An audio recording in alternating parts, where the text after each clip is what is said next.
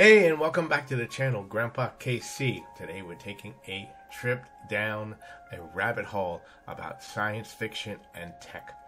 And sometimes the line between science fiction and tech gets really blurry, and we're going to be talking at a connection that's recently come to mind about the Cybermen and Apple AirPods. You may have heard they have just filed a patent about their AirPods and it's an eerie connection. Let's get into it. The Cybermen are iconic Doctor Who villains, part machine, part humans. They're all about upgrading the body and controlling the mind. They achieve this through creepy ear implants that stuck out, uh, suck out our emotions and turn you into mindless machines. Yike! Now, the earbuds are far from villainous mind control devices, hopefully.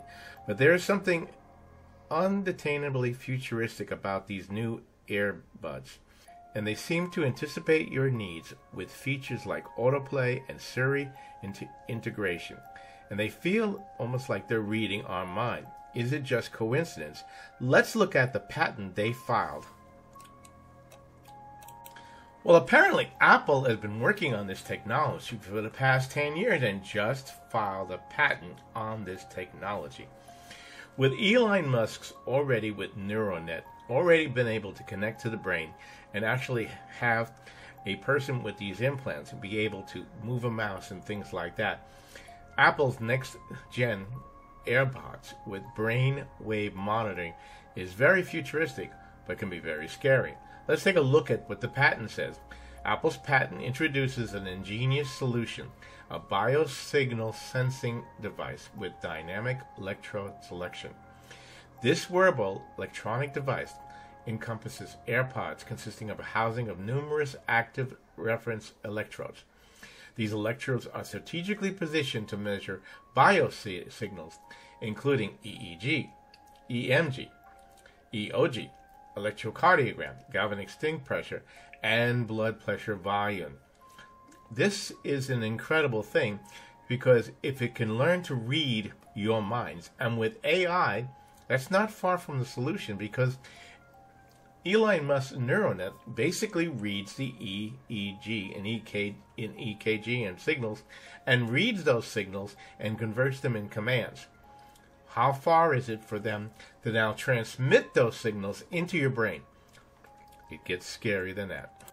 The question we have to ask ourselves, for the sake of convenience, are we willing to give up our privacy? By the way, if you haven't done so already, please don't forget to like, share, and subscribe and hit the thank you button. That's how we support the channel.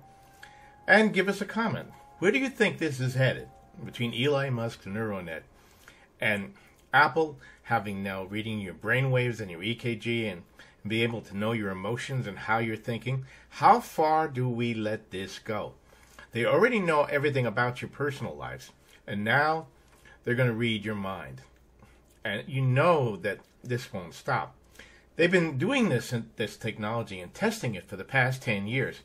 And how far would it go? Put it in the comments. I mean, we're going to get are we going to get to this point where now you're going to be hooked up to your headset and your and your earbuds will read your mind and and bring on put on the television what you want. With them already being able to listen to what you say on your phone be able to view what you're viewing see what you're seeing and send ads to your phone and all of this before you even think they can read, they can see where you're going, they can see where your car has been, they can do all of this.